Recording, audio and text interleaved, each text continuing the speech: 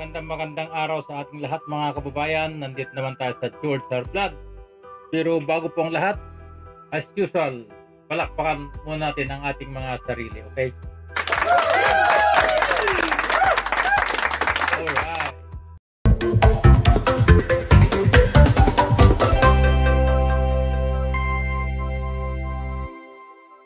Nagbago ng isip mga kongresista nais nang makipagtulungan ang Pinas sa ICC. Prove. Yan po. At saka House Resolution 1477 authored by Human Rights Panel Chairperson Representative Abante and Representative Gutierrez calls on the Marcos administration to extend their full cooperation to ICC prosecutor.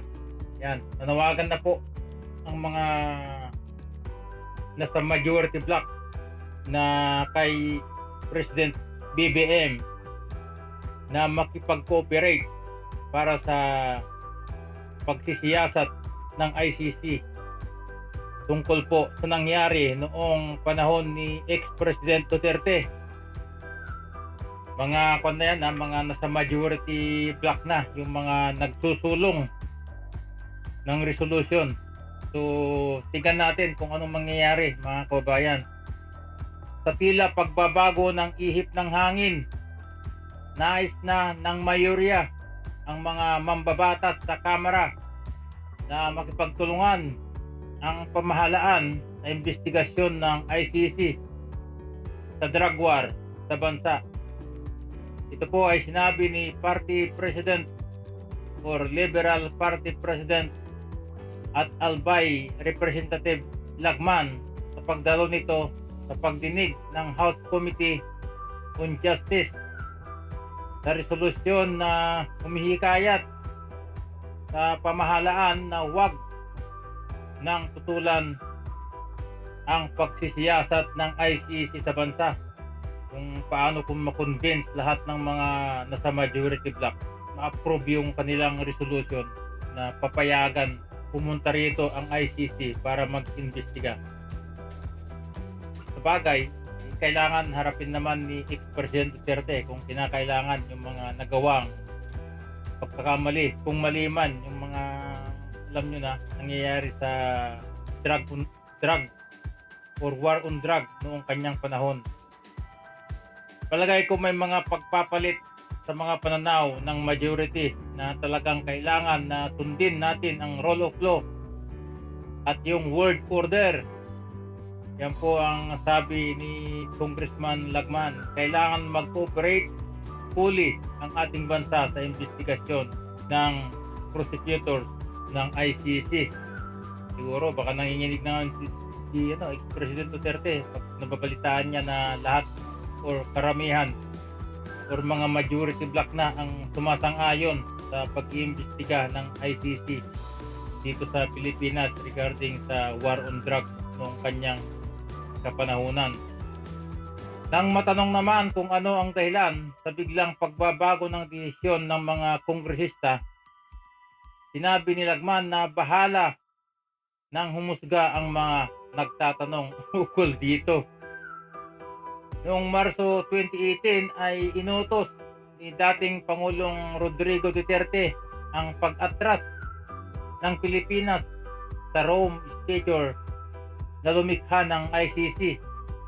Ang hakbang ay matapos namang i-anunsyo ni ICC Prosecutor Pato Binzua na simulan niya ang preliminary investigation laban sa pamalaang Duterte Kaugnay po sa mga reklamo ng madugong gera kontra duga kontra droga simula noong 2016 sa pag-upo nito sa pwesto. Sa bilang po ng PNP ay mahigit na 6,000 ang namatay or nasawi sa drug war.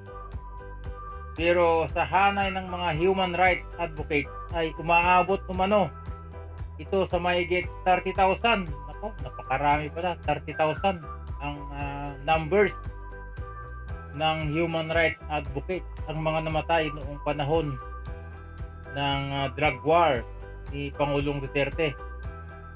Ito po yung resolution na hinain sa House or sa Kamara. House Resolution numero 1393 at 1477 na kapwa hinihiling sa gobyerno na makipag-kooperasyon sa ICC probe. So, kailangan bantayan natin to. Sa bagay, wala tayong magagawa kasi mga congressman na yan ang nagsasabi at saka nasa ma- majority block na yung sumanga mga ayon na magkaroon ng ICC probe dito sa Pilipinas. So, ang inaantay na lang, siyempre kung may pasa yung resolution na yon, yung 1393 at 1477 ay depende lang kay President Marcos kung ipito niya or pirmahan niya yung resolution na yon. Isa pang balita mga kaibigan, Joint Patrol ng Pinas USA sa West Philippine Sea umarangkada na Sinimulan na kahapon ng Pilipinas at Amerika ang pagsasagawa ng joint patrols sa WPS or West Philippine Sea. Ito po ay ayon kay uh, Pangulong Ferdinand Marcos Jr.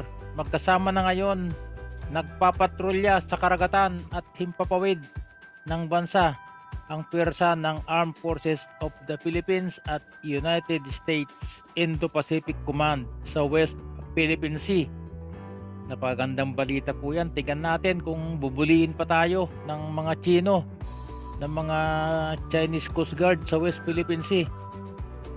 Ang sabi po ni uh, Presidente today marks the beginning of joint maritime and air patrols, a collaborative effort between the armed forces of the Philippines and the United States Indo-Pacific Command in the West Philippine Sea.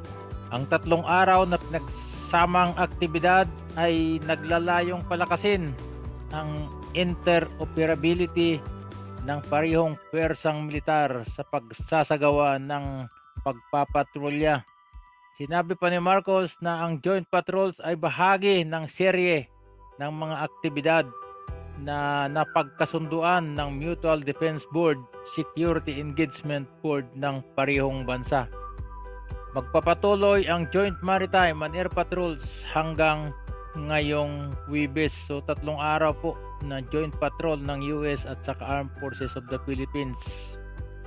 So tingnan natin kung ano ang reaksyon ng mga Chinese Coast Guard ng mga PLA dyan po sa West Philippine Sea.